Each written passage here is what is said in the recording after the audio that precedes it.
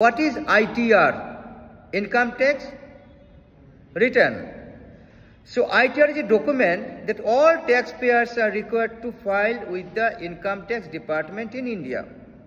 There may be a question, what is ITR? It's very simple.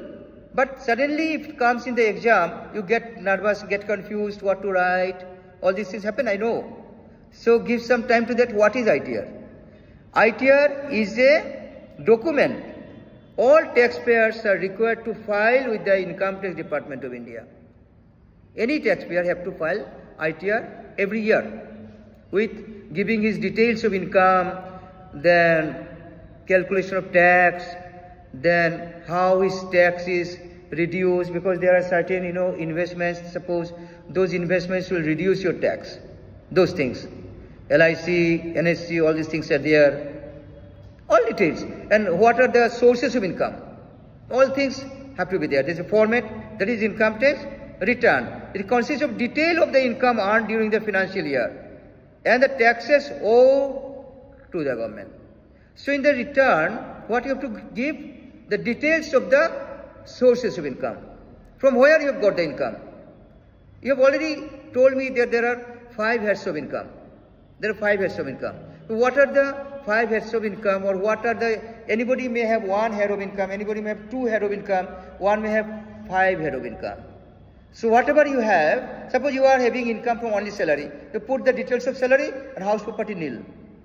In this case, capital gains nil, other sources nil like that. But one may have everything, then its be different again. All those details have to be included.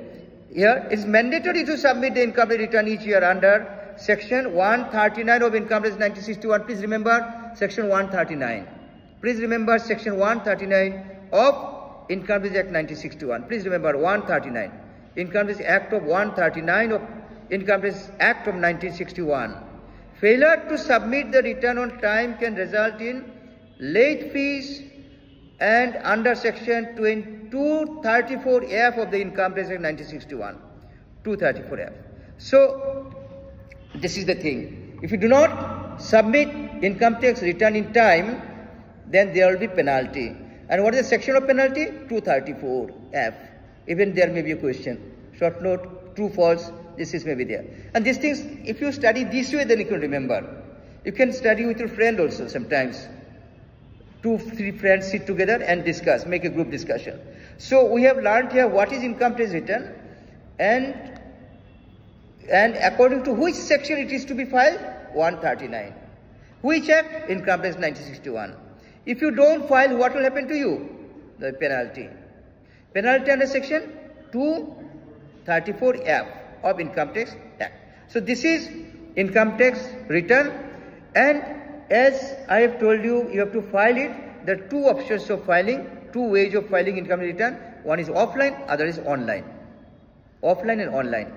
Earlier, you know, we have to submit online, offline. I told you that uh, uh, we have to deposit all forms, that they are written, fill up with pen and submit to the income department, carry this. So that is offline. But now you can do it online, there is e-filing. So now our topic is e-filing. We shall be going to in depth of e-filing now. So thank you.